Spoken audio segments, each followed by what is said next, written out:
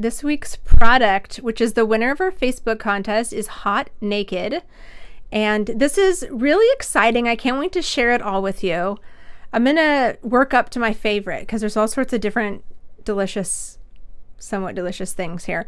Okay, so this is the Whipped Body Butter Haute Naked, our bath products, and all sorts of bath and body products. Okay, so this is the Whipped Body Butter.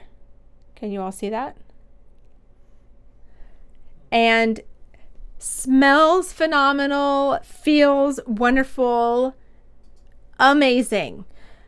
Um, the next thing, it's it's remarkable, lovely, lovely, lovely, and um, this is crinkly, so I'll keep it at bay.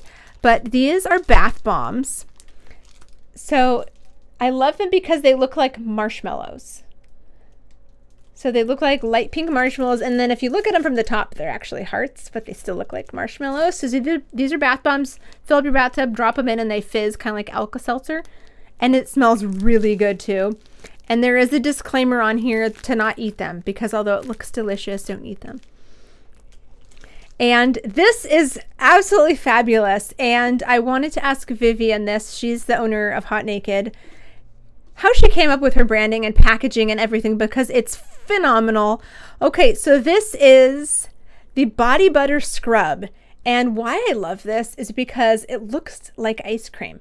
So here's the container that it comes in, just like, you know, your little ice cream container. Got this little label on the back, everything.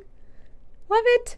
And because it is in an ice cream can container, of course it has to look like ice cream. So I put it in a nice bowl here. I'm totally going to give you a close up.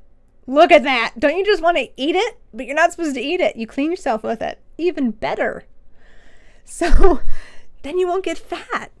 Um, you'll just smell really good.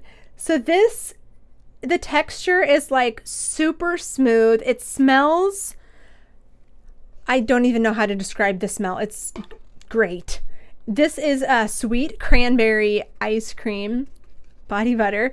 And what you do is you just uh, break off a piece of it or cut it, or if you're to go crazy, you can use the whole ball of ice cream.